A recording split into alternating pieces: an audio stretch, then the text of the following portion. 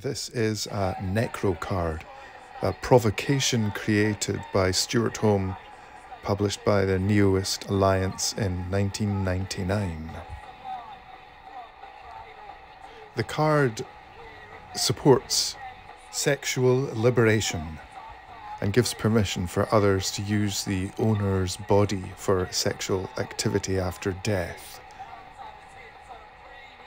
Response to the Necro card wasn't all positive. In fact, you should check out Stewart Home's interviews about the responses he got.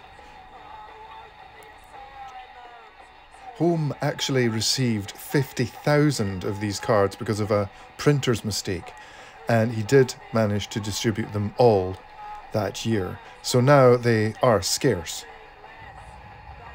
I can't find any listed on eBay at this time, but I did find one in the UK at £35 and this one in the States at $55. But of course, a piece of art is only worth what anyone will pay for it.